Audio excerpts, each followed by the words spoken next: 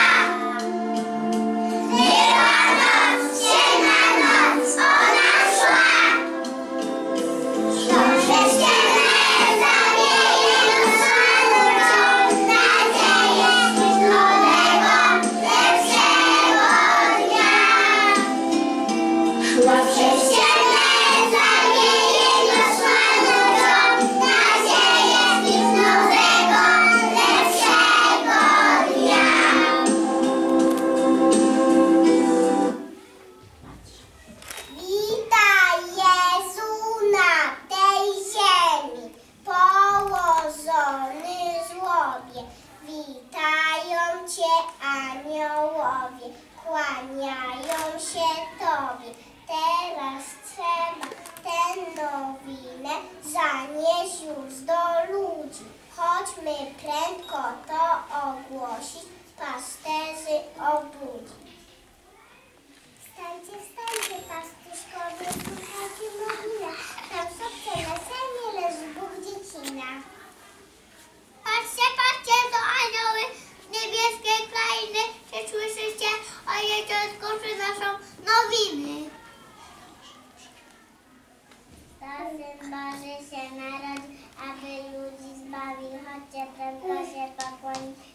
Cordabati.